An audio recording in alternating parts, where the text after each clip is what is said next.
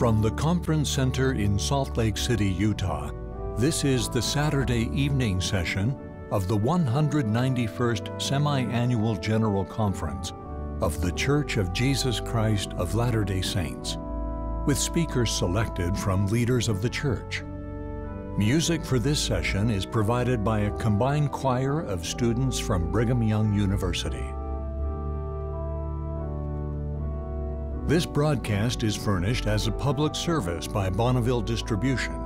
Any reproduction, recording, transcription, or other use of this program without written consent is prohibited. President Dallin H. Oaks, first counselor in the First Presidency of the Church, will conduct this session.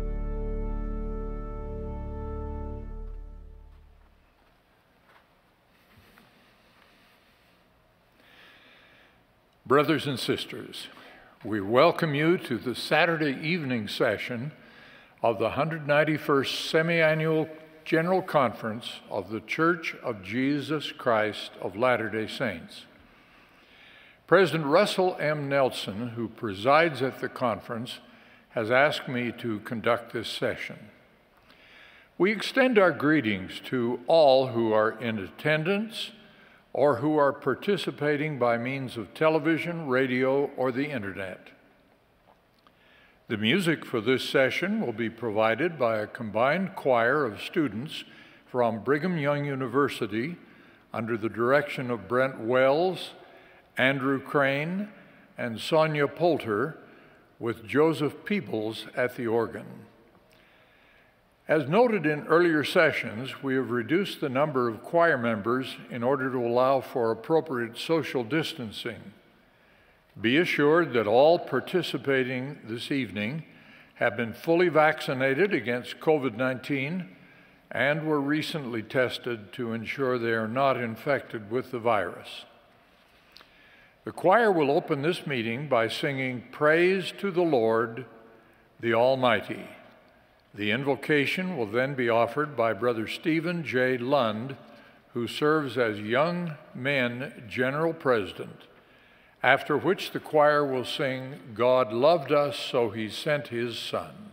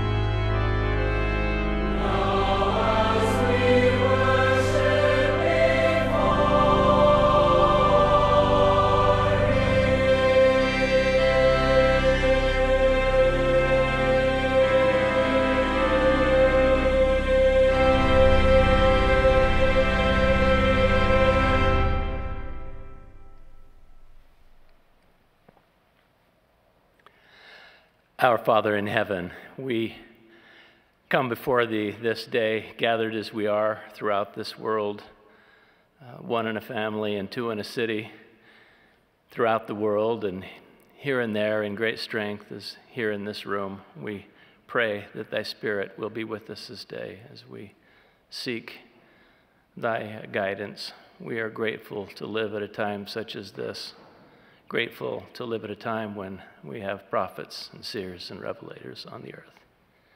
We ask thy blessing to be upon them, President Russell M. Nelson and his special and especial witnesses deployed as they are throughout the earth. Bless them as they strive to reflect thy will perfectly, and bless us to understand that will, to have the faith and the courage to uh, follow thy direction. How we love thee love them and love each other. We ask a special blessing upon the youth of this church and of this world as they live at a time of particular confusion, that they might uh, not be distracted from finding thy love for them. Help them to be uh, drawn to thee and bless us in all of our strivings to help them towards that end. We pray in the name of Jesus Christ. Amen.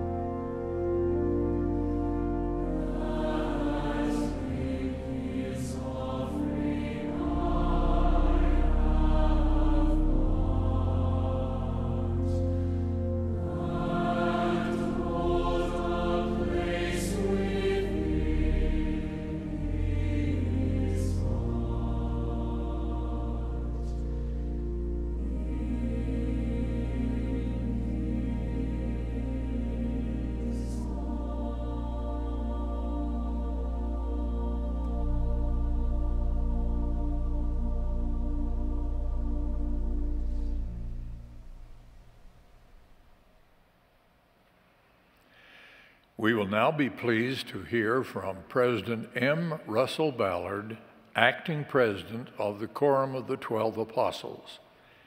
He will be followed by Sister Sharon Eubank, who serves as first counselor in the Relief Society General Presidency. We will then be pleased to hear from Elder Brent H. Nielson of the Presidency of the 70 and Elder Arnulfo Valenzuela of the 70.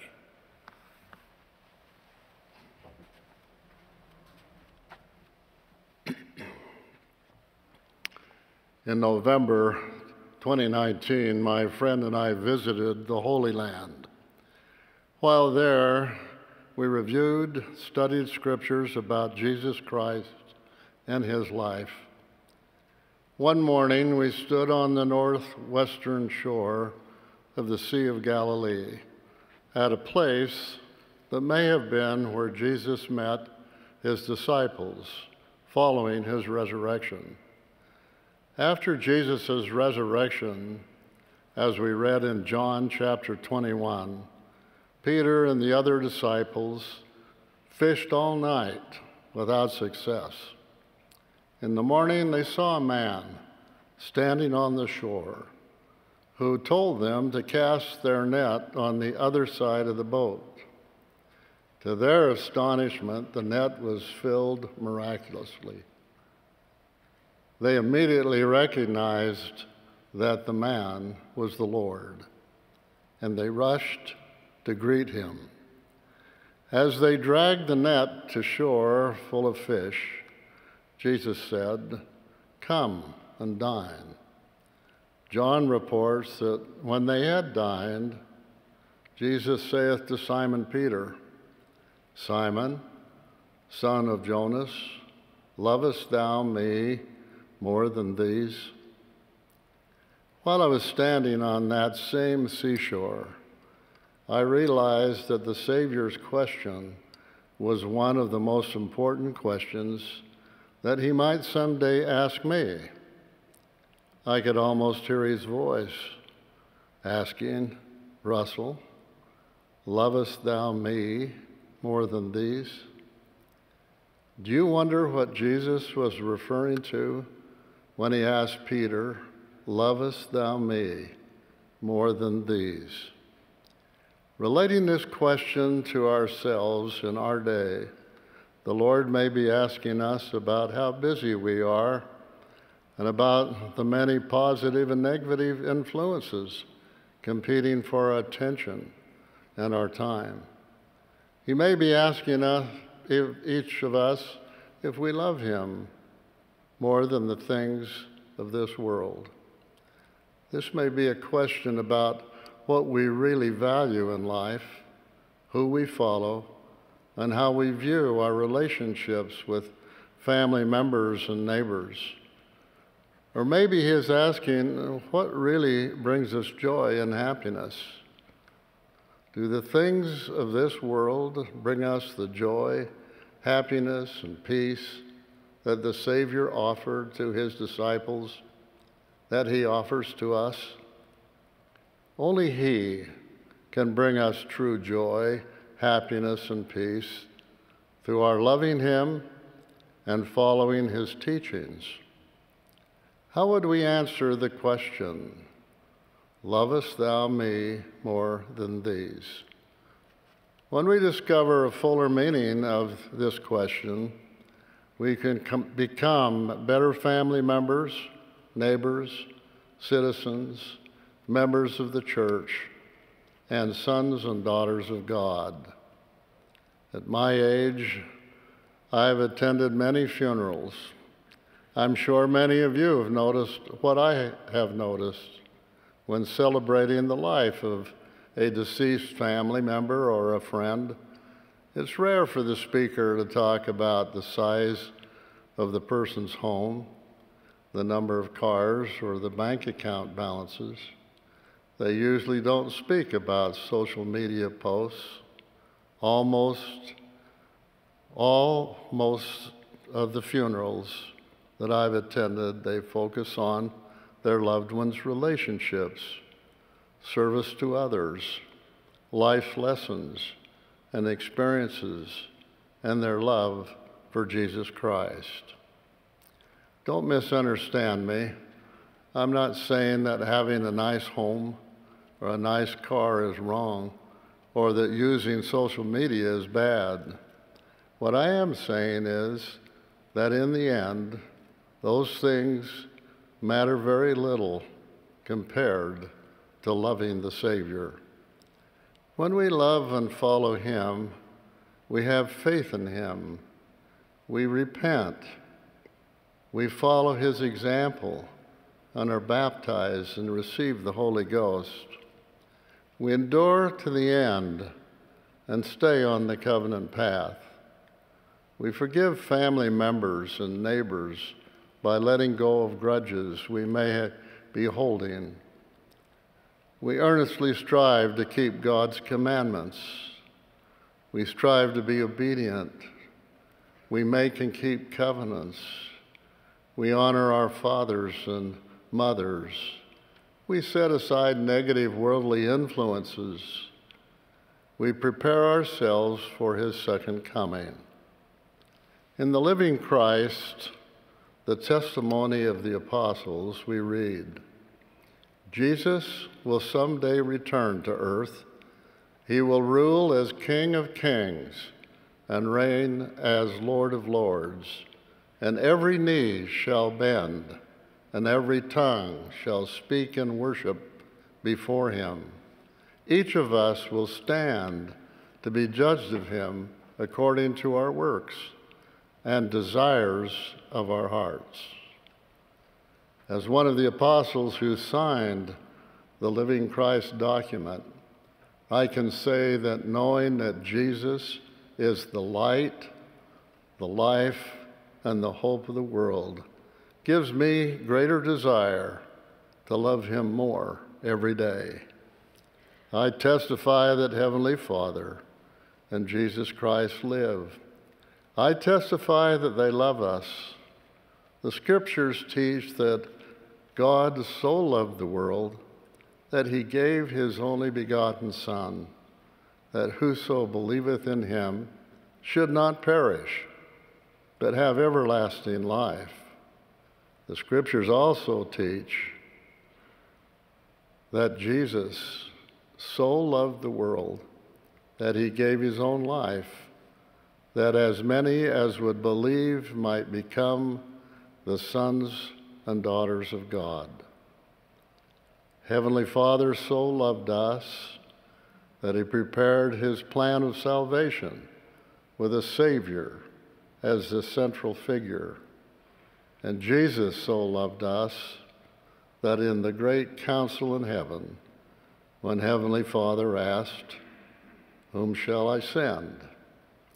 Jesus, who was the firstborn of all of Father's spirit children, answered, Here am I, send me. He said unto the Father, Father, thy will be done and the glory be thine forever. Jesus volunteered to be our Savior and Redeemer so that we could become like them and return to their presence. These two scriptures also teach that to return to their presence, we need to believe. We need to believe in Jesus and in God's plan of happiness. To believe is to love and follow our Savior and keep the commandments, even in the midst of trials and strife. Today's world is unsettled. There are disappointments, disagreements, distress, and distractions. President Dallin H. Oaks, speaking in 2017, noted the following these are challenging times, filled with big worries, wars and rumors of wars, possible epidemics of infectious diseases, droughts, floods, and global warming. Close quote. We cannot lose our love for and hope in Jesus, even if we face seemingly overwhelmingly, overwhelming challenges, Heavenly Father and Jesus will never forget us. They love us. Last October, President Russell M. Nelson taught us the importance of putting Heavenly Father and Jesus Christ first in our lives. President Nelson taught us that one meaning of the word Israel is let God prevail. He asked each of us these questions quote, Are you willing to let God prevail in your life? Are you willing to let God be the most important influence in your life? Will you allow His words, His commandments, and His covenants to influence what you do each day? Will you allow His voice to take prior- priority over any other? Are you willing to let whatever He needs you to do take precedence over every other ambition? Are you willing to have your will swallowed up in His? Close quote. We must always remember that our true happiness depends upon our relationship with God, with Jesus Christ, and with each other. One way to demonstrate our love is by joining family, friends, and neighbors in doing some small things to better serve each other. Do things that make this world a better place. What things can you do within your own life to show that you love the Lord first? As we focus on loving our neighbors as He loves them, we start to truly love those around us. I ask again, how would you respond to the Savior's question? Lovest thou me more than these? As you consider this question, as I have done, I pray that you may answer as Peter did so long ago Yea, Lord, thou knowest that I love thee. And by then, it show it by loving and serving God and all those around you. I testify that we are blessed to have the gospel of Jesus Christ to guide us in the way we live and treat each other. In Him, we discover that every daughter and son of God is precious to Him. I testify that Jesus Christ is our beloved Savior. He's the only begotten Son of God. And I bear this testimony humbly. In the name of Jesus Christ, amen.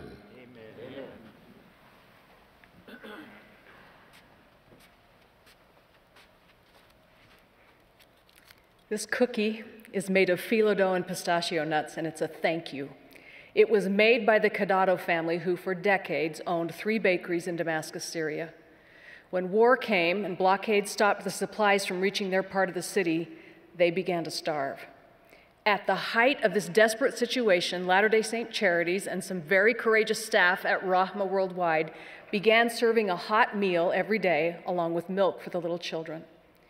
After a difficult time, this family left and began their life as well as their bakery once again in a new country. Recently, a box of cookies arrived at the church office building with the following message. For more than two months, we managed to get food from Rahma Latter day Saint Charities kitchen. Without it, we would have starved to death. Please accept this sample from my shop as a small token of thanks. I ask God the Almighty to bless you in everything you do. A cookie of gratitude and remembrance, and it's meant for you. To all who prayed after watching a story on the news, to all who volunteered when it wasn't convenient, or who kindly donated money to the humanitarian fund, trusting it would do some good, thank you. The Church of Jesus Christ is under divine mandate to care for the poor. It's one of the pillars of the work of salvation and exaltation. So, what was true during Alma's day is certainly true for us. And thus, in their prosperous circumstances, they did not send away any who were naked, or that were hungry, or that were athirst, or that were sick, or that had not been nourished, and they did not set their hearts upon riches. Therefore, they were liberal to all, both old and young, both bond and free both male and female, whether out of the church or in the church, having no respect as to persons who stood in need.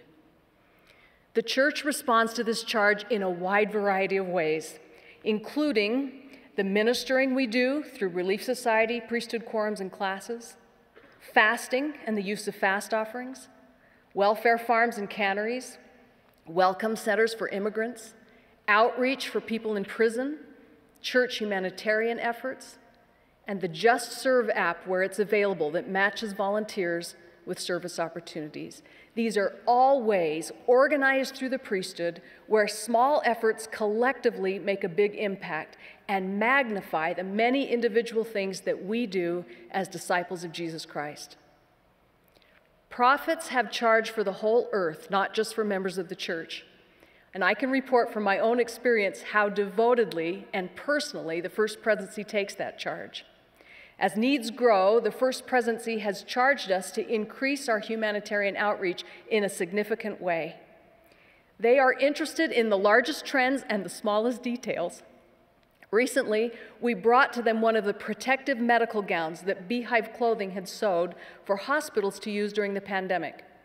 As a medical doctor, President Nelson was highly interested. He didn't just want to see it, he wanted to try it on, check the cuffs and the length and the way it tied in the back.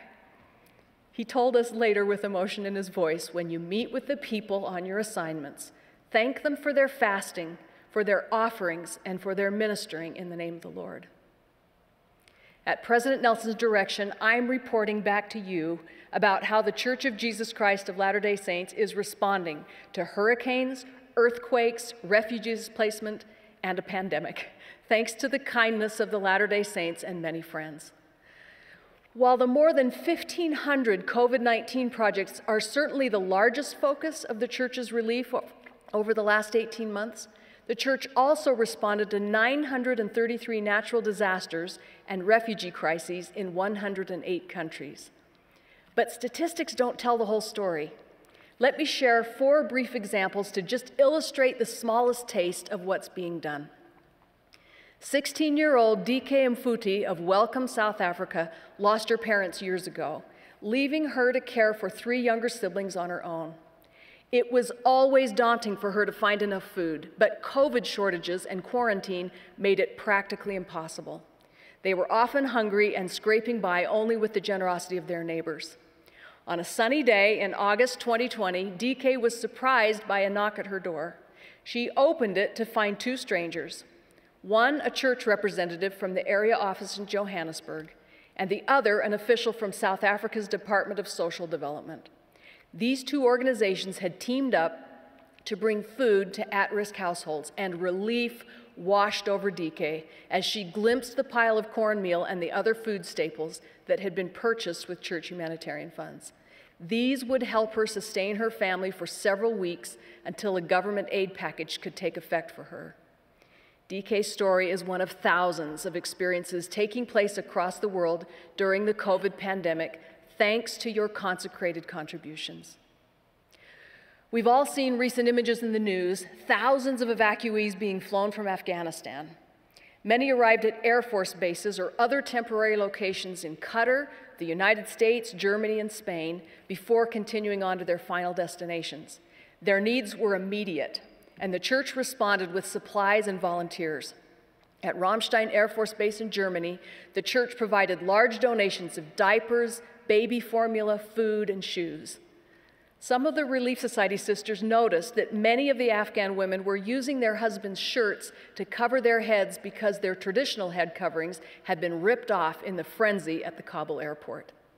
In an act of friendship that crossed any religious or cultural boundaries, the sisters of the Ramstein First Ward gathered together and, and sewed traditional Muslim clothing for these Afghan women. Sister Bethany Hall said, We heard the women were in need of prayer garments, and we're sewing so that they can be comfortable for prayer. This next example shows you don't have to be wealthy or older to be an instrument for good. 18 year old Marie Jajou Jacques is from the Cavaillon branch in Haiti. When the devastating earthquake struck near her town in August, her family's house was one of tens of thousands that collapsed. It's almost impossible to imagine the despair of losing your home. But rather than giving in to that despair, Jajou incredibly turned outward. She saw an elderly neighbor struggling and she began to take care of her. She helped others clear away debris. Despite her exhaustion, she joined other church members to distribute food and hygiene kits. Jajou's story is just one of many powerful examples of service carried out by youth and young adults as they strive to follow the example of Jesus Christ. Only a few weeks before the earthquake, another group of young adults was giving similar service across the Atlantic. The floods that swept through Western Europe in July were the most severe in decades. When waters finally receded, one shopkeeper in the riverside town of Ahrweiler, Germany, surveyed the damage and was just overwhelmed. This humble man, a devout Catholic, whispered a prayer to God that somebody might come and help him. The next morning, President Dan Hammond of the Germany Frankfurt Mission arrived on the street with a small band of missionaries wearing yellow Helping Hands vests. The water had reached up 10 feet on the shopkeeper's walls, and it left behind a deep layer of mud. These volunteers shoveled out the mud, removed the carpet and the drywall, and piled everything in the street so it could be removed. The overjoyed shopkeeper worked alongside them for hours, amazed that the Lord had sent a group of his servants to answer his prayer within 24 hours. Speaking of the church's humanitarian efforts, Elder Jeffrey R. Holland once remarked Prayers are answered most of the time by God using other people. Well, I pray he'll use us. I pray that we'll be the answer to other people's prayers. Brothers and sisters, through your ministry, donations, time, and love, you have been the answer to so many prayers. And yet there's so much more to do. As baptized members of the church, we're under covenant to care for those in need. Our individual efforts don't necessarily require money or faraway locations, but they do require the guidance of the Holy Spirit and a willing heart to say to the Lord, as Elder Ballard just taught, Here am I, send me. Luke 4 records that Jesus came to Nazareth where he had been brought up, and he stood up in the synagogue to read. This was near the beginning of his mortal ministry, and he quoted a passage from the book of Isaiah The Spirit of the Lord is upon me, because he hath anointed me to preach the gospel to the poor. He hath sent me to heal the brokenhearted, to preach deliverance to the captives, and recovering of sight to the blind, to set at liberty them that are bruised, to preach the acceptable year of the Lord. This day is the scripture fulfilled in your ears. I testify that this scripture is being fulfilled in our own time as well. I testify Jesus Christ is come to heal the brokenhearted. His gospel is to recover sight to the blind. His church is to preach deliverance to the captives, and his disciples across the world are striving to set at liberty them that are bruised. Let me conclude by repeating the question that Jesus asked his apostle Simon Peter, and we've just heard about this Do you love me? The essence of the gospel is contained in how we answer that question for ourselves. With great reverence and love for Jesus Christ, our Master, I invite each of us to be a part of his magnificent ministry, and I pray he'll use us in the sacred name of Jesus Christ. Amen.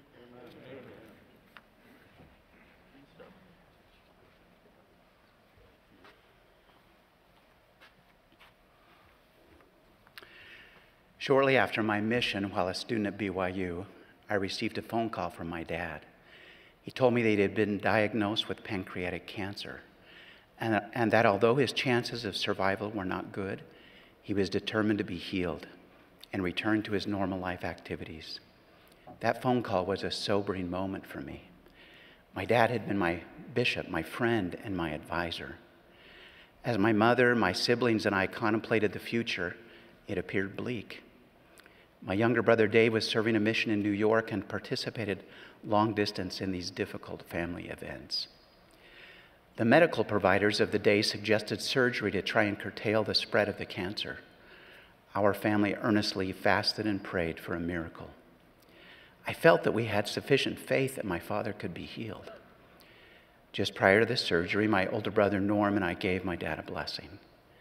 With all the faith we could muster, we prayed that he would be healed.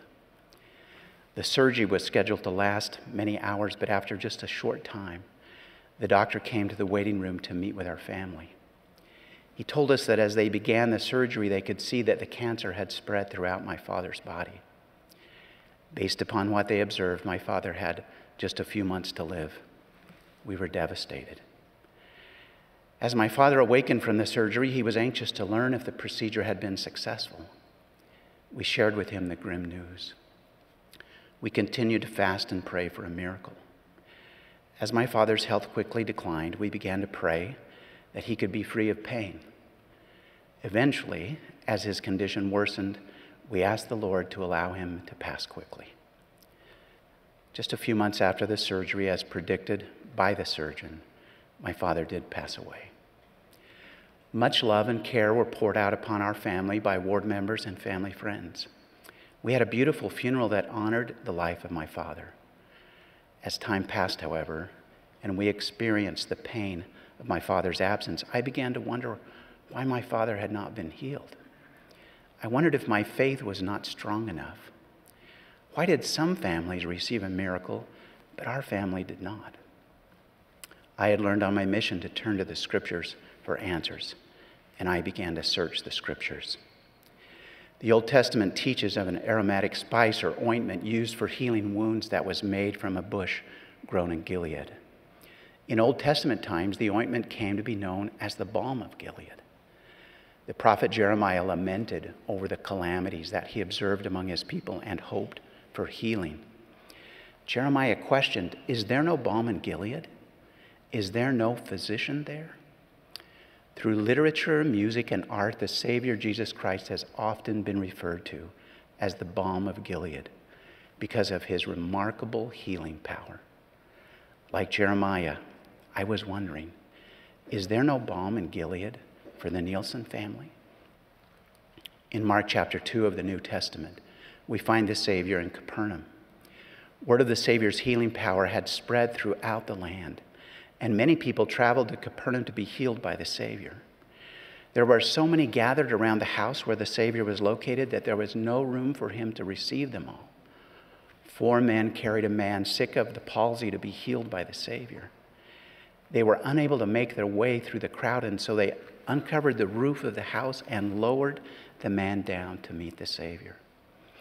As I read this account, I was surprised by what the Savior said as he met this man. Son, thy sins be forgiven thee.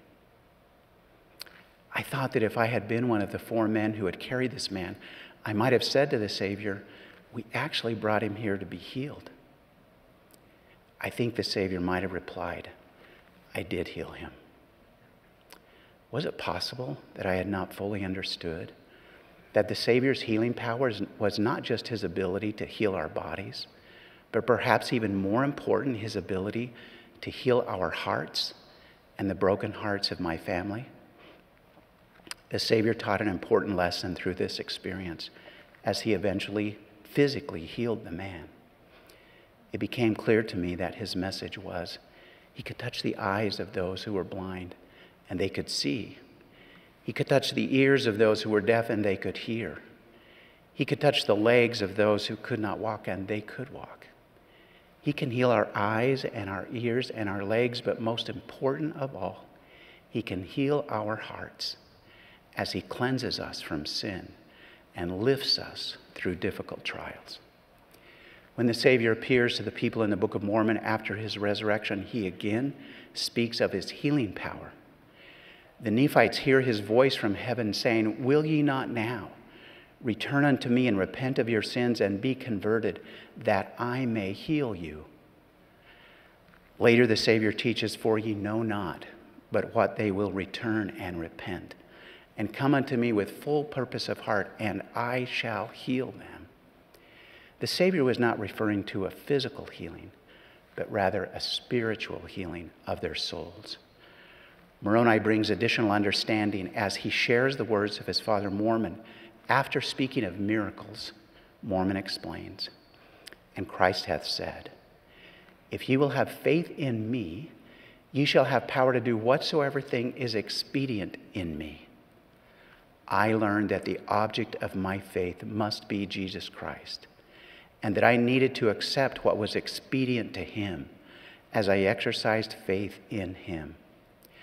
I understand now that my father's passing was expedient to God's plan.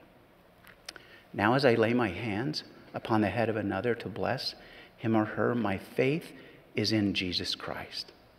And I understand that a person can and will be physically healed if it is expedient in Christ. The Savior's atonement, which makes available both his redeeming and his enabling power, is the ultimate blessing that Jesus Christ offers to all. As we repent with full purpose of heart, the Savior cleanses us from sin. As we cheerfully submit our will to the Father, even in the most difficult of circumstances, the Savior will lift our burdens and make them light. But here's the greater lesson I learned. I had mistakenly believed that the Savior's healing power had not worked for my family.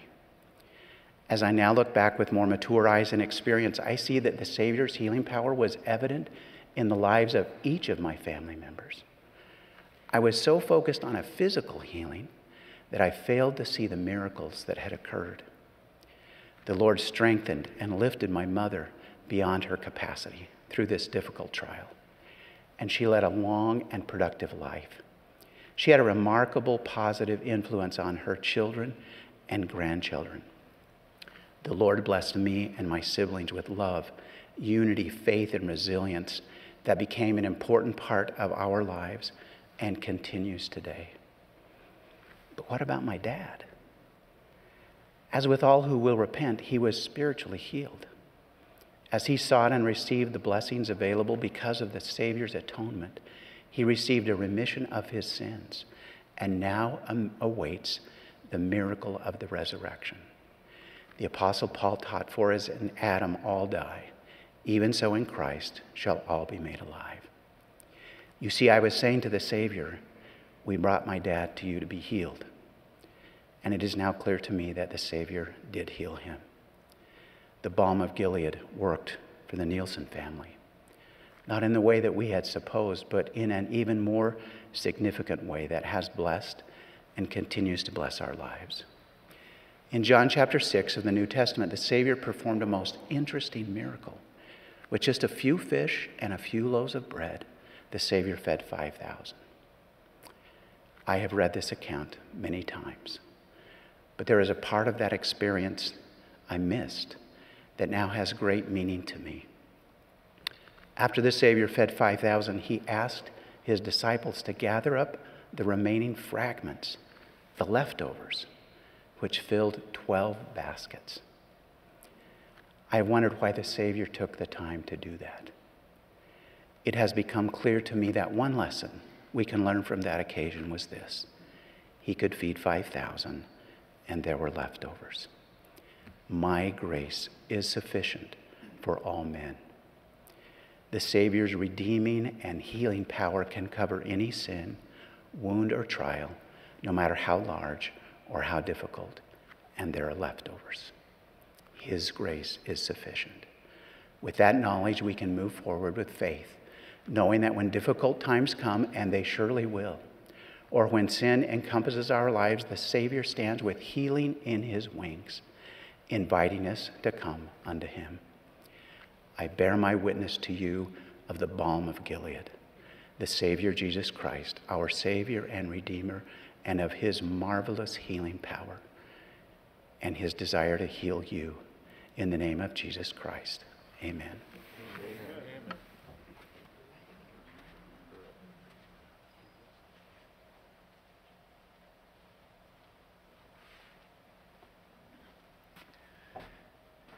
Thank you so much, Elder Nielson, for your beautiful message. We needed that. My dear brothers and sisters, President Russell M. Nelson has taught us recently, and I quote, to do anything well requires effort. Becoming a true disciple of Jesus Christ is no exception. Increasing your faith and trust in Him takes effort. Close quote. Among the recommendations that He gave us to increase our faith in Jesus Christ is that we become engaged learners, that we immerse ourselves in the scriptures to understand better Christ's mission and ministry. We learn in the Book of Mormon that the scriptures were an important part of Lehi's family, so much so that Nephi and his brothers returned to Jerusalem to obtain the plates of brass. The scriptures reveal God's will for us, much like the Liahona did for Nephi and his father. After he broke his bow, Nephi needed to know where he should go to obtain food. His father Lehi looked at the Liahona and saw, that, saw the things that were written. Nephi saw that the spindles functioned according to the faith, diligence, and attention given to them. He also saw writing, which was easy to read, and which gave them understanding regarding the paths of the Lord. He became aware that the Lord brings about great things through small means. He was obedient regarding the directions given by the Liahona. He went up the mountain and obtained food for his family who had suffered so much from the lack thereof. It seems to me that Nephi was a student dedicated to the scriptures. We read that Nephi delighted in the scriptures, pondered them in his heart, and wrote them for the learning and profit of his children. President Russell M. Nelson said, and I quote, if we press forward feasting upon the word of Christ and endure to the end, we shall have eternal life. To feast means more than to taste. To feast means to savor. We savor the scriptures by studying them in a spirit of delightful discovery and faithful obedience. When we feast upon the words of Christ, they are embedded in the fleshy tables of the heart. They become an integral part of our nature. Close quote. What are some of the things that we will do if our souls delighted in the scriptures? Our desire to be part of the gathering of Israel on both sides of the veil will increase. It will be normal and natural for us to invite our family and friends to listen to the missionaries. We will be worthy and we will have a current temple recommend in order to go to the temple as often as possible. We will work to find, prepare, and submit the names of our ancestors to the temple. We will be faithful in keeping the Sabbath day attending church every Sunday to renew our covenants with the Lord as we participate worthily in taking the sacrament. We will resolve to remain on the covenant path, living by every word that proceeds forth from the mouth of God. What does it mean for you to delight in the things of the Lord? Delighting in the scriptures is more than hungering and thirsting for knowledge. Nephi experienced great joy during his life. However, he also faced difficulties and sadness. Nevertheless, he said, I know in whom I have trusted. As we study the scriptures, we will better understand God's plan of salvation and exaltation and we will trust in the promises that He has made to us in the Scriptures, as well as in the promises and blessings of modern prophets. One afternoon, my wife and I were invited to a home of a friend. Their seven year old son, David, had never heard the Bible story of David and Goliath, and he wanted to hear it. As I began to tell the story, He was touched by the way David, with his faith and in the name of the God of Israel, wounded and killed the Philistine with a sling and a stone, having no sword in his hand. Looking at me with his enormous dark eyes, he asked me firmly, Who is God? I explained to him that God is our Heavenly Father and that we learn about Him in the Scriptures. Then he asked me, What are the Scriptures? I told him that the Scriptures are the Word of God and, the, and that in them he will find beautiful stories that will help him to better know God. I asked his mother to use the Bible that she had in her home and that she not let David go to sleep without reading the whole story to him. He was delighted as he listened to it. The scriptures and our knowledge of God, God are gifts, gifts that we too often take for granted. Let us cherish these blessings. While serving a mission as a young man, I observed that by teaching with the scriptures, the life of many people were transformed. I became aware of the power in them and how they can change our lives. Each person to whom we taught the restored gospel was a unique individual with different needs. The Holy Scriptures, yes, the prophecies written by the holy prophets brought them to a faith in the Lord and to repentance and changed their hearts. The scriptures fill them with joy as they receive inspiration, direction, consolation, strength, and answers to their needs. Many of them decided to make changes in their lives and began to keep God's commandments. Nephi encourages us to delight in the words of Christ because the words of Christ will tell us all the things we need to do.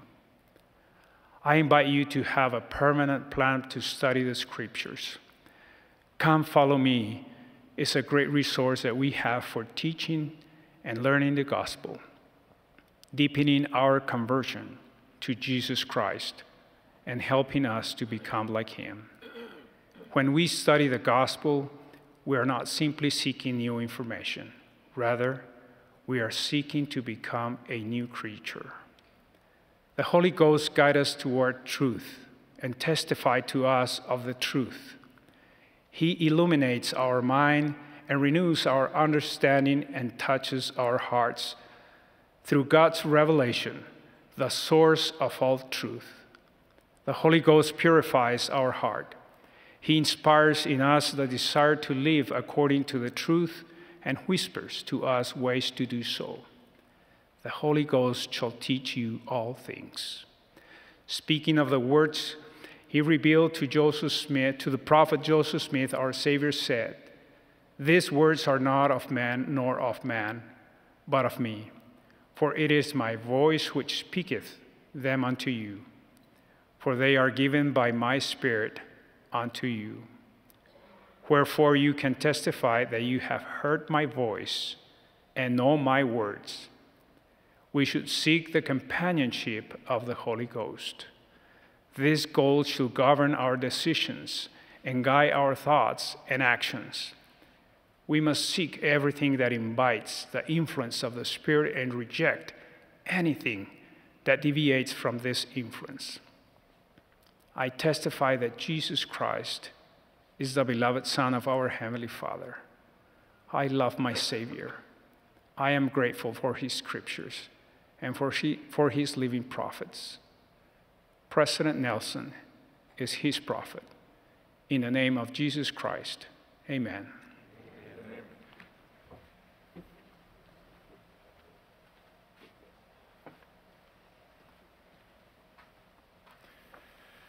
The congregation will now join the choir in singing Guide Us, O Thou Great Jehovah. After the singing, we will hear from Brother Bradley R. Wilcox, who serves as second counselor in the Young Men General Presidency. He will be followed by Elders Alfred Kyungu and Marcus B. Nash of the 70.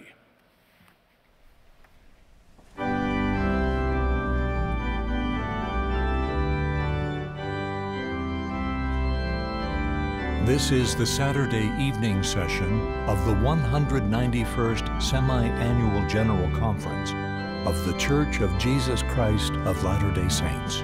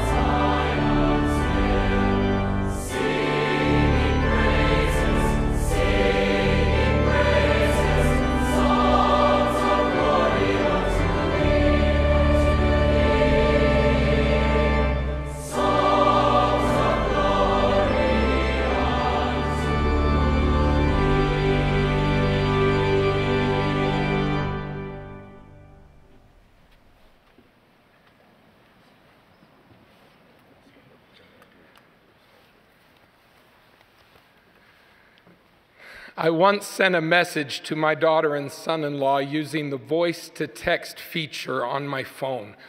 I said, Hey, you two, sure love you.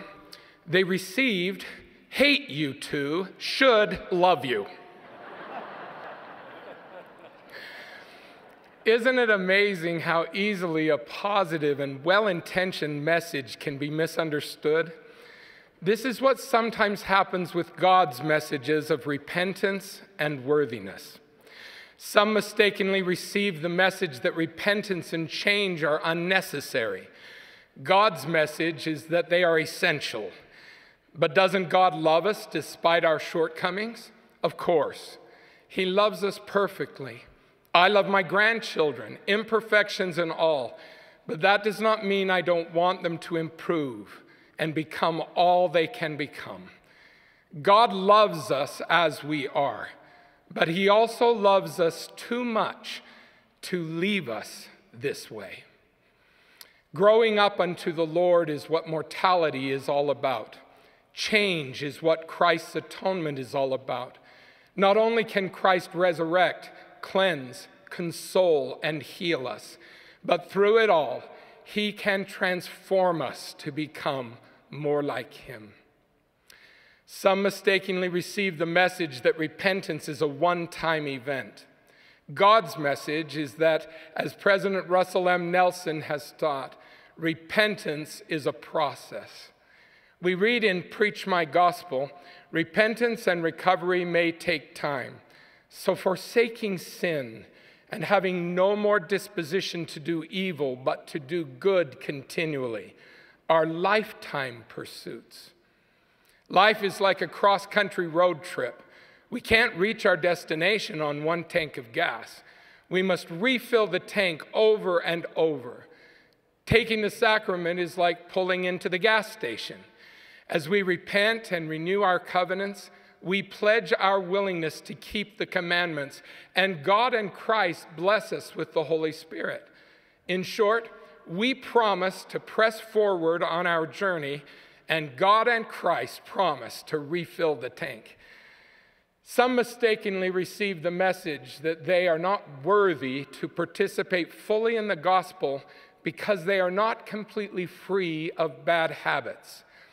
God's message is that worthiness is not flawlessness. Worthiness is being honest and trying. We must be honest with God, priesthood leaders, and others who love us. And we must strive to keep God's commandments and never give up just because we slip up. Elder Bruce C. Hafen said that developing a Christ like character requires patience and persistence more than it requires flawlessness. The Lord has said, The gifts of the Spirit are given for the benefit of those who love me and keep all my commandments, and him that seeketh so to do. One young man I'll call Damon wrote, Growing up, I struggled with pornography. I always felt so ashamed that I could not get things right. Each time Damon slipped, the pain of regret became so intense, he harshly judged himself to be unworthy of any kind of grace, forgiveness, or additional chances from God. He said, I decided I just deserved to feel terrible all the time. I figured God probably hated me because I wasn't willing to work harder and get on top of this once and for all. I would go a week and sometimes even a month, but then I would relapse and think, I'll never be good enough. So, what's the use of even trying? At one such low moment, Damon said to his priesthood leader, Maybe I should just stop coming to church. I'm sick of being a hypocrite. His leader responded, You're not a hypocrite because you have a bad habit you are trying to break. You are a hypocrite if you hide it, lie about it, or try to convince yourself the church has the problem for maintaining such high standards. Being honest about your actions and taking steps to move forward is not being a hypocrite, it is being a disciple. This leader quoted Elder Richard G. Scott, who taught, The Lord sees weakness differently than he does rebellion. When the Lord speaks of weaknesses, it is always with mercy. That perspective gave Damon hope. He realized God was not up there saying, Damon blew it again. Instead, he was probably saying, Look how far Damon has come. This young man finally stopped looking down in shame or looking sideways for excuses and rationalizations. He looked up for divine help and he found it. Damon said, The only time I had turned to God in the past was to ask for forgiveness, but now I also ask for grace, His enabling power. I had never done that before. These days, I spend a lot less time hating myself for what I have done and a lot more time loving Jesus for what he has done. Considering how long Damon had struggled, it was unhelpful and unrealistic for parents and leaders assisting him to say, never again, too quickly, or to arbitrarily set some standard of abstinence to be considered worthy. Instead, they started with small, reachable goals. They got rid of the all or nothing expectations and focused on incremental growth which allowed Damon to build on a series of successes instead of failures. He, like the enslaved people of Limhi, learned he could prosper by degrees. Elder D. Todd Christofferson has counseled to deal with something very big. We may need to work at it in small, daily bites, incorporating new and wholesome habits into our character or overcoming bad habits or addictions most often means an effort today, followed by another tomorrow, and then another, perhaps for many days, even months and years. But we can do it because we can appeal to God for the help we need each day. Now, brothers and sisters, the COVID 19 pandemic has not been easy for anyone. But the isolation associated with quarantine restrictions has made life especially difficult for those struggling with bad habits. Remember, change is possible. Repentance is a process, and worthiness is not flawlessness. Most important, remember that God and Christ are willing to help us right here and now. Some mistakenly receive the message that God is waiting to help until after we repent. God's message is that He will help us as we repent. His grace is available to us no matter where we are in the path of obedience. Elder Dieter F. Uchtdorf has said, God does not need people who are flawless. He seeks those who will offer their heart and a willing mind, and He will make them perfect in Christ. So many have been hurt by broken and strained relationships that it is difficult for them to believe in God's compassion and long suffering. They struggle to see God as He is, a loving Father who meets us in our need and knows how to give good things to them that ask Him. His grace is not just a prize for the worthy, it is the divine assistance He gives that helps us become worthy.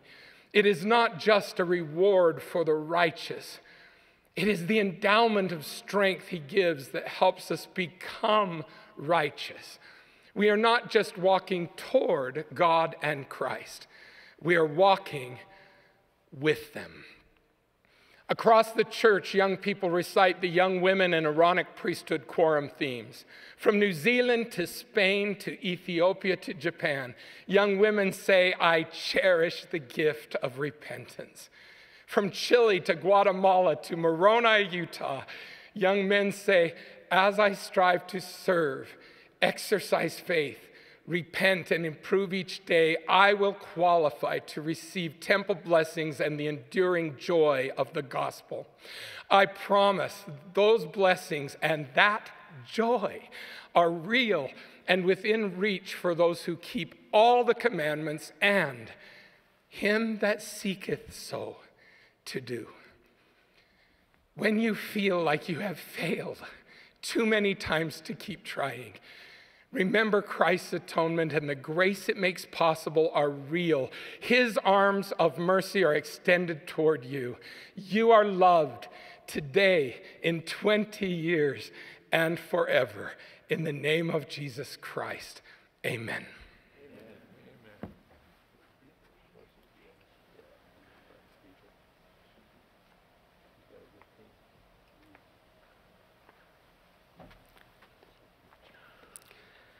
In my personal study of the scriptures, I have been impressed by the conversion Saul of the Tarsus, who later became known as Paul, as described in the Bible. Paul was an active man in the persecution of the church and the Christians, but because of the power of heaven and the atonement of Jesus Christ, he was changed completely and he became one of the great servants of God. His model of life was the Savior, Jesus Christ.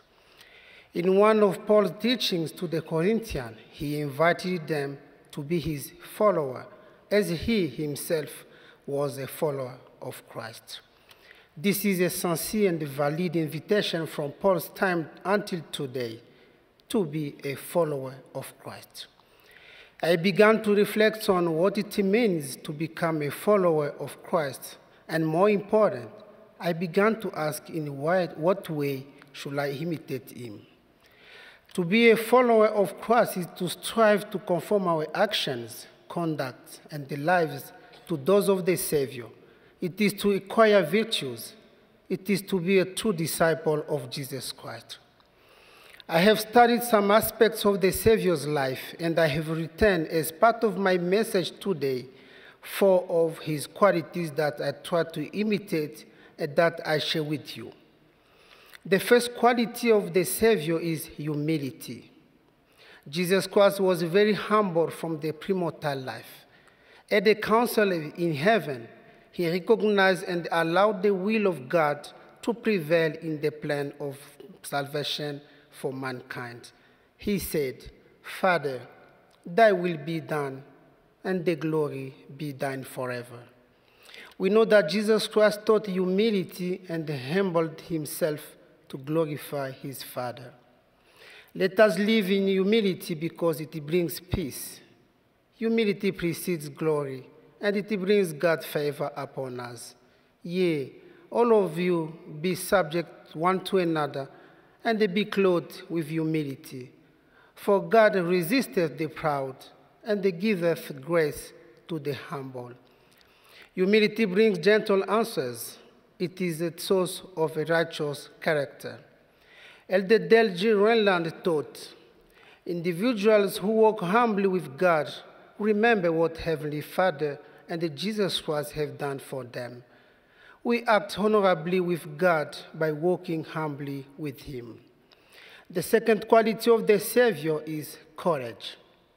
When I think of Jesus Christ at the age of 12, sitting in the temple of God among the doctors of the law and teaching them divine things, I know that he already had, very early in his life, a good sense of courage, a particular courage. While most will expect to see the young boy being taught by the doctors of the law, he was teaching them as they were hearing him and asking him questions. We served the full-time mission in the Democratic Republic of the Congo Mbuji-Mayi mission from 2016 to 2019. The way to travel in the zone, the mission from one zone to another was by road. A phenomenon has arisen in that area with bandits armed with bladed weapons breaking onto the roads and disturbing the movement of travelers. Five missionaries traveling from one zone to another as part of the transfer were victims of these disturbances. Having been victims of this phenomenon ourselves some times before, we began to fear for the life and the safety of all of us, even hesitating to travel on those roads to visit the missionaries and the whole zone conferences. We didn't know how long it was going to last. I drew up a report which I sent to the area presidency, and I expressed my feelings of fear about continuing to travel when the road was the only way to reach our missionaries. In his reply, Elder Kevin Hamilton who was our president of the Africa Southeast area, wrote to me. My counsel is to do the best you can. Be wise and be prayerful. Do not knowingly put yourselves and your missionaries in harm's way, but at the same time, go forward in faith. For God had not given us the spirit of fear, but of power and of love and of a sound mind. This exhortation greatly strengthened us and allowed us to continue to travel and serve with courage until the end of our mission because we heard the direction from our Father in heaven through that scripture. In modern scripture, we read the inspired word of the prophet Joseph Smith reflecting the Lord's encouragement to us. Brethren, shall we not go on in so great a cause? Go forward and not backward. Courage, brethren, and on, on to the victory.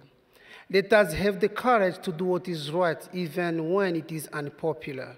The courage to defend our faith and to act by faith. Let us have the courage to repent daily. The courage to accept God's will and obey His commandments. Let us have the courage to live righteously and to do what is expected of us in our various responsibilities and positions. The third quality of the Savior is forgiveness. During his mortal ministry, the Savior prevented a woman who had been taken in adultery from being stoned.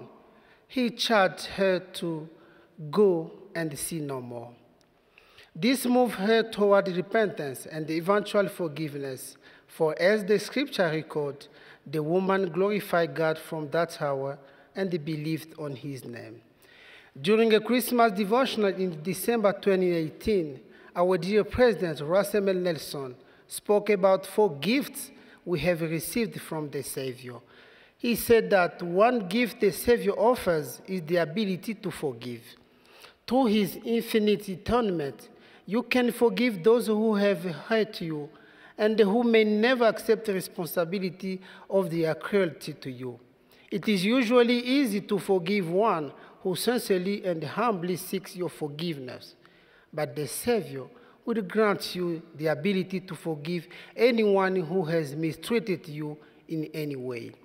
Let us sincerely forgive each other to obtain the forgiveness of the Father. Forgiveness sets us free and makes us worthy to partake of the sacrament every Sunday. Forgiveness is required of us to be truly disciples of Jesus Christ. The fourth quality of the Savior is sacrifice.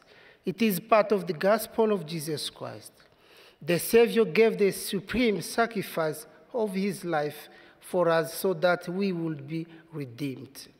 Feeling the pain of sacrifice, he asked his Father to keep the cup away but he wanted to the end of the eternal sacrifice. This is the atonement of Jesus Christ.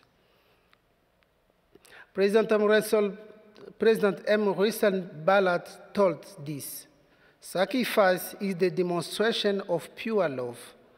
The degree of our love to the Lord for the gospel and for our fellow men can be measured by what we are willing to sacrifice for them. We can sacrifice our time to perform ministering, to save others, to do good, to do family's work, and to magnify our church calling.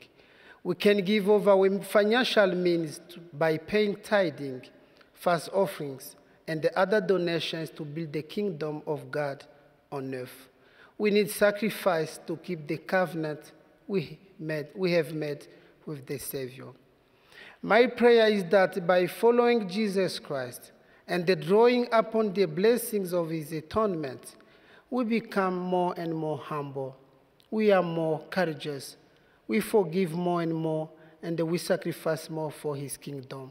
I testify that the Heavenly Father lives, and he knows each of us individually, that Jesus is the Christ, that President Russell M. Nelson is God's prophet today I testify the Church of Jesus Christ of Latter day Saints is the kingdom of God on the earth, and the Book of Mormon is true. In the name of Jesus Christ, our Redeemer. Amen.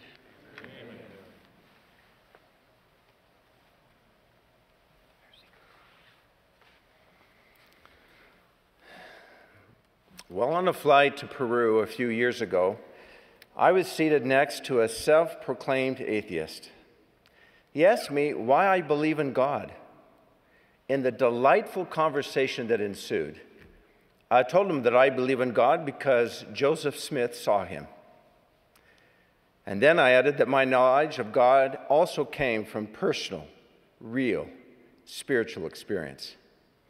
I shared my belief that all things denote there is a God and asked him how he believed the earth, this oasis of life in the vacuum of space, came into existence. He replied that, in his words, the accident could have happened over eons of time. When I explained how highly improbable it would be for an accident to produce such beauty and order, he was quiet for a time and then good naturedly said, You got me. I asked if he'd read the Book of Mormon. He said he would, so I sent him a copy. Years later, I made a new friend while in an airport in Lagos, Nigeria. We became acquainted as he checked my passport. I asked him about his religious beliefs, and he expressed strong faith in God. I shared the joy and vibrancy of the restored gospel of Jesus Christ and asked if he would like to learn more from the missionaries.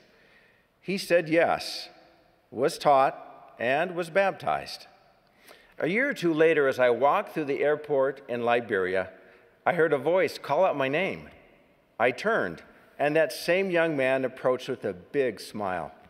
We joyfully embraced, and he let me know that he was active in church and working with the missionaries to teach his girlfriend. Now, I do not know whether my atheist friend ever read the Book of Mormon or joined the church. My second friend did. For both of them, my responsibility, my opportunity was the same hold up the gospel light to love, share, and invite each of them in a normal, natural way. Brothers and sisters, I have experienced the blessings of sharing the gospel, and they are remarkable. Here are a few of them. Sharing the gospel brings joy and hope. You see, you and I know that we lived as children of our Heavenly Father before coming to this earth, and that the earth was created for the purpose of giving each person the opportunity to obtain a body gain experience, learn, and grow in order to receive eternal life, which is God's life. Heavenly Father knew we would suffer and sin on earth, so he sent his Son, whose matchless life and infinite atoning sacrifice make it possible for us to be forgiven, healed, and made whole. To know these truths is life changing. When a person learns the glorious purpose of life, comes to understand that Christ forgives and succors those who follow him, and then chooses to follow Christ into the waters of baptism, life changes for the better, even when the external circumstances of life do not. A radiantly happy sister I met in Onitsha, Nigeria told me for, that from the time she learned the gospel and was baptized, and now I use her words, everything is good for me. I'm happy. I am in heaven. Sharing the gospel kindles joy and hope in the souls of both giver and receiver. Truly, how great shall be your joy as you share the gospel. Sharing the gospel is joy upon joy hope upon hope. Sharing the gospel brings God's power into our lives. When we were baptized, each of us entered into a perpetual covenant with God to serve Him and keep His commandments, which includes to stand as a witness of Him at all times and in all things and in all places. As we abide in Him by keeping this covenant, the enlivening, sustaining, sanctifying power of godliness flows into our lives from Christ, just like a branch receives nourishment from the vine. Sharing the gospel protects us from temptation. The Lord commands, Hold up your light that it may shine unto the world. Behold, I am the light which ye shall hold up that which ye have seen me do. I have commanded that ye should come unto me that ye might feel and see, even so shall ye do unto the world. And whosoever breaketh this commandment suffereth himself to be led into temptation. Choosing to not hold up the gospel light moves us to the shadows where we are susceptible to temptation. Importantly, the converse is true. Choosing to hold up the gospel light brings us more fully into that light and the protection it provides against temptation. What a tremendous blessing in today's world. Sharing the gospel brings healing. Sister Tiffany Milone accepted the invitation to support the missionaries despite very heavy personal struggles, including questions about her faith. She recently told me that supporting the missionaries has renewed her faith and sense of well being. In her words, missionary work is so healing. Joy, hope, sustaining power from God, protection from temptation, healing. All of these and more, including forgiveness of sins, distill upon us from heaven as we share the gospel. Now, turning to our great opportunity, brothers and sisters, there are many among all parties, sects, and denominations who are only kept from the truth because they know not where to find it. The need to hold up our light has never been greater in all human history, and the truth has never been more accessible. Jimmy Ton, who grew up Buddhist, was impressed by a family who shared their life on YouTube. When he learned that they were members of the Church of Jesus Christ of Latter day Saints, he studied the gospel online by himself, read the Book of Mormon using the app, and was baptized after meeting with the missionaries in college.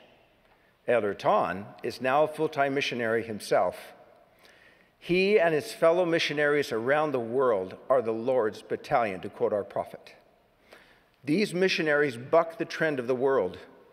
While surveys report that Gen Z is turning away from God, our stripling warrior elders and sisters are turning people to God. And increasing numbers of members of the church are uniting with the missionaries in sharing the gospel, helping more and more friends to come into Christ and his church. Our Latter day Saints in Liberia helped 507 friends enter the waters of baptism, baptism during the 10 months there were no full time missionaries serving in their country. When one of our wonderful stake presidents there heard that the full time missionaries may be returning, he remarked, Oh, good. Now they can help us with our work. He is correct. The gathering of Israel, the greatest cause on this earth, is our covenant responsibility, and this is our time.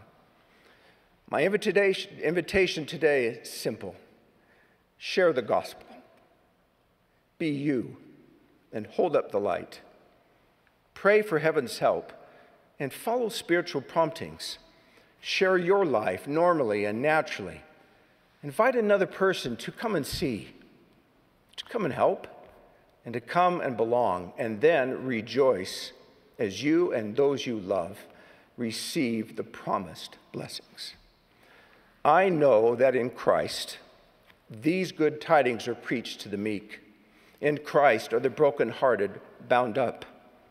In Christ is liberty proclaimed to the captives. And in Christ, only in Christ, are those who mourn given beauty for ashes. Hence the great need to make these things known. I testify that Jesus Christ is the author and the finisher of our faith. He will finish, He will complete our exercise of faith, however imperfect, in holding up the gospel light.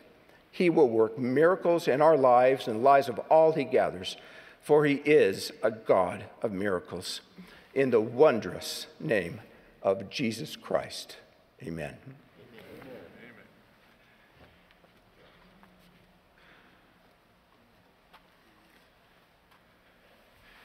We are grateful for all who've spoken to us this evening and for the beautiful music that has been provided. We remind you that a previously recorded broadcast of music and the spoken word will be aired tomorrow morning from 9:30 to 10 a.m. Mountain Daylight Time. The Sunday morning session of conference will immediately follow. The concluding speaker for this session will be President Henry B. Eyring, second counselor in the First Presidency. Prior to President Eyring's remarks, the choir will sing, Lord, I Would Follow Thee.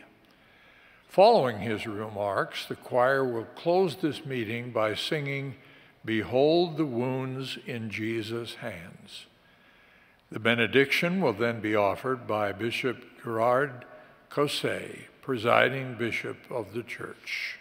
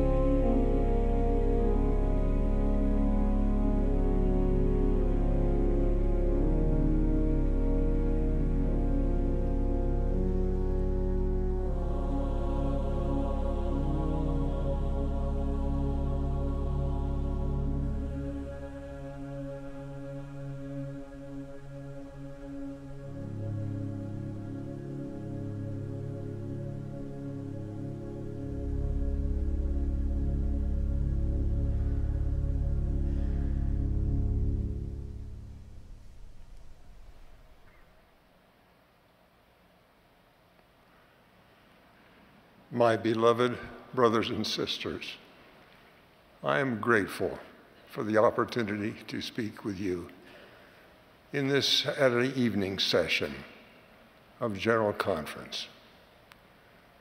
In his introduction to the conference this morning, President Russell M. Nelson said that, quote, pure revelation for the questions in your heart will make this conference rewarding and unforgettable. If you have not yet sought for the ministering of the Holy Ghost to help you hear what the Lord would have you hear during these two days, I invite you to do so now. Close quote. I have sought for that blessing as I prepared to receive this revelation for this visit with you. My earnest prayer is that you may receive revelation from God. The way to receive revelation from God has not changed from the days of Adam and Eve. It has been the same for all called servants of the Lord from the beginning to the present day. It is the same for you and for me. It is always done by exercising faith. The teenage Joseph Smith had faith sufficient to ask a question of God, believing that God would answer his heartfelt need. The answer that came changed the world. He wanted to know what church to join to be cleansed of sin.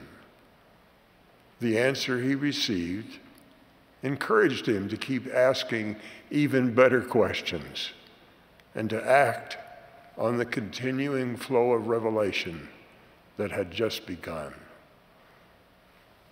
Your experience can possibly be similar in this conference. If you have questions for which you seek answers, you have at least enough faith to hope that you will receive answers from the Lord through his servants. You will not have the opportunity to ask aloud for answers from the speakers, but you can ask your loving Father in prayer. I know from experience that answers will come to fit your needs and your spiritual preparation.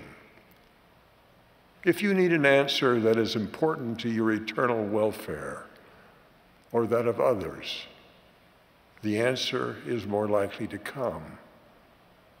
Yet even then, you may receive, as did Joseph Smith, the answer to be patient. If your faith in Jesus Christ has led to a heart softened through the effects of his atonement, you will be more able to feel the whisperings of the Spirit in answer to your prayers. My personal experience is that the still small voice, which is real, is clear and discernible in my mind when I feel an internal quiet and submission to the Lord's will. To me, the clearest answers to my questions that have ever come of when I came to the place of saying, I only want what you want not what I want. That feeling of humility can be best described as not my will, but thine be done. The process of revelation is why you will hear speakers teach, as you have in this conference, what is called the doctrine of Christ. Revelation comes to us in proportion to the degree to which we have sought to take the doctrine of Christ into our hearts and implement it in our lives. You remember from the Book of Mormon that Nephi taught us that faith in Jesus Christ is the key to receiving revelations of truth and the key to having the confidence that we are following the Savior's direction. Nephi wrote the following words centuries before the birth of Jesus Christ into mortality. Open quote. Angels speak by the power of the Holy Ghost. Wherefore they speak the words of Christ. Wherefore I said unto you, Feast upon the words of Christ. For behold, the words of Christ will tell you all things what ye should do. Wherefore, now after I have spoken these words, if you cannot understand them, it would be because ye ask not, neither do ye knock. Therefore, ye are not brought into the light, but must perish in the dark. For behold, again I say unto you that if you will enter in by the way and receive the Holy Ghost, it will show unto you all things what ye should do. Behold, this is the doctrine of Christ, and there will be no more doctrine given until after he shall manifest himself unto you in the flesh. And when he shall manifest himself unto you in the flesh, the things which he shall say unto you shall ye observe to do. Close quote. The Lord will say things through his servants to you and to me today and in the days ahead. He will tell us what things we should do. The Savior will not shout commands to you and me as he taught Elijah, open quote, and he said, Go forth and stand upon the mount before the Lord. And behold, the Lord passed by, and a great and strong wind rent the mountains and brake in pieces the rocks before the Lord. But the Lord was not in the wind. And after the wind, an earthquake. But the Lord was not in the earthquake. And after the earthquake, a fire. But the Lord was not in the fire. And after the fire, a still small voice. Close quote. Hearing that voice will come from our faith in Him. With sufficient faith, we will ask for direction with the intent to go and do whatever He asks. We will have, to, we will have developed the faith to know that whatever He asks will bless others and that we can be purified in the process because of His love for us as our faith in Jesus Christ will have led us to ask the Father for answers. That faith will also have brought the Savior's softening touch enough for us to hear the direction and be determined and excited to obey. Then we will sing the words of the hymn with joy, even when the work is hard. Sweet is the work my God, my King. The more we have the doctrine of Christ in our lives and hearts, the more we feel greater love and sympathy for those who have never had the blessings of faith in Jesus Christ or are struggling to maintain it.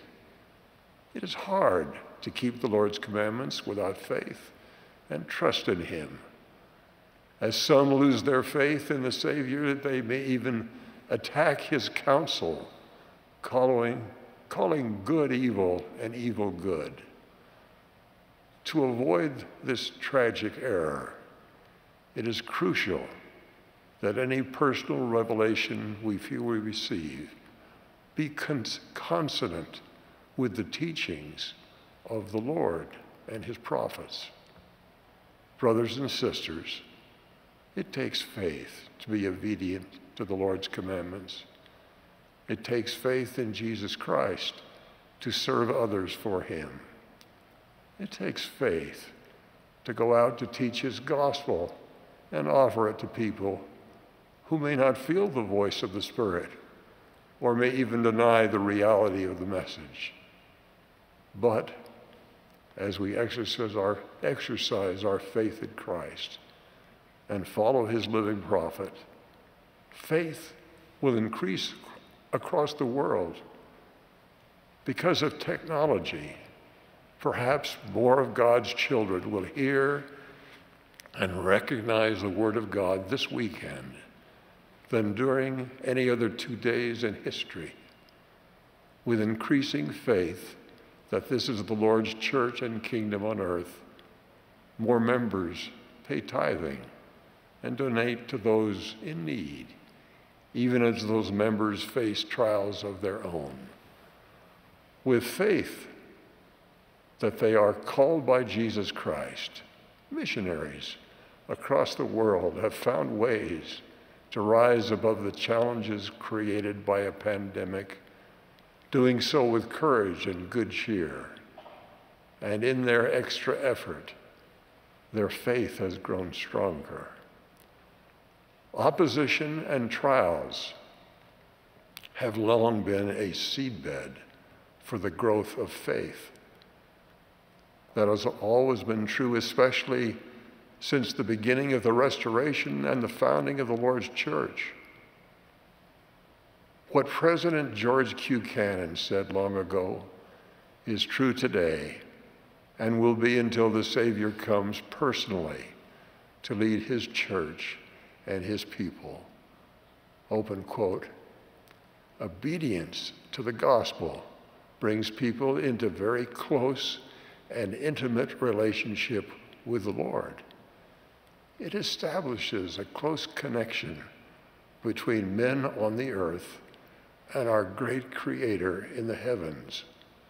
It brings to the human mind a feeling of perfect confidence in the Almighty and in His willingness to listen to and answer the supplic supplications of those who trusted Him. In times of trial, and difficulty, this confidence is beyond price. Trouble may come upon the individual or upon the people. Disaster may threaten, and every human hope seem to be overthrown. Yet, where people have availed themselves of the privileges which obedience to the gospel brings, they have a sure standing place. Their feet are upon a rock that cannot be moved, close quote. It is my testimony that the rock upon which we stand is our witness that Jesus is the Christ, that this is his church, which he leads personally, and that President Russell M. Nelson is his living prophet today. President Nelson seeks and receives direction from the Lord. He is for me an example of seeking that direction with a determination to follow it. That same determination to be obedient to the Lord's direction is in the heart of all those who have spoken or will speak, pray, or sing in this general conference of his church.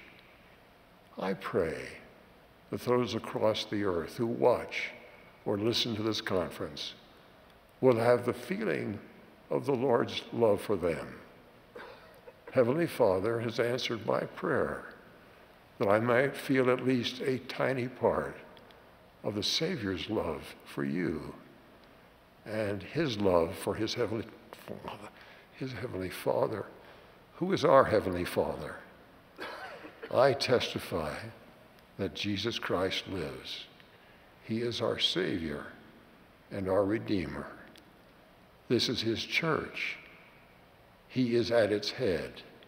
He, with His Heavenly Father, appeared in person to Joseph Smith in a grove of trees in New York. The gospel of Jesus Christ and His priesthood were restored through heavenly messengers. By the power of the Holy Ghost, I know that is true. I pray that you may have that same witness I pray that you will ask Heavenly Father for the faith in Jesus Christ you need to make and keep the covenants that will allow the Holy Ghost to be your constant companion. I leave you with my love and my sure witness in the sacred name of Jesus Christ. Amen.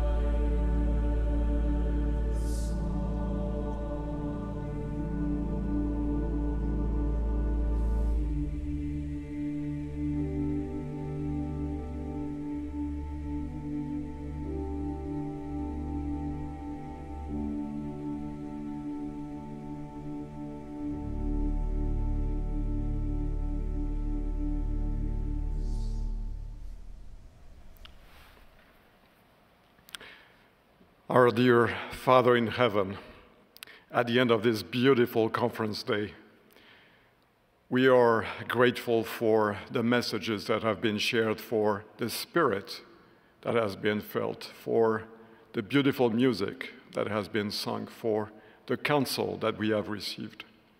And now we ask Thee to bless us so we may take these uh, teachings and testimonies back into our homes, into our lives, that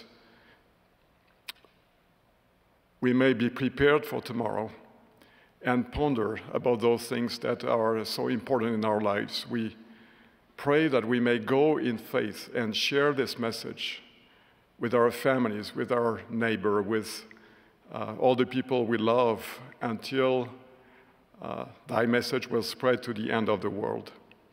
We love thee and we love thy Son, Jesus Christ, and we pray in the name of our Lord, even Jesus Christ. Amen.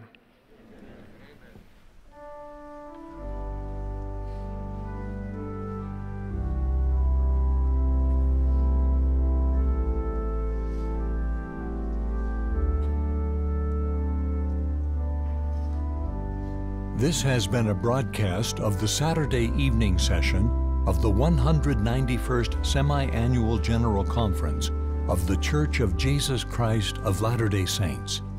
Speakers were selected from leaders of the church. Music for this session was provided by a combined choir of students from Brigham Young University.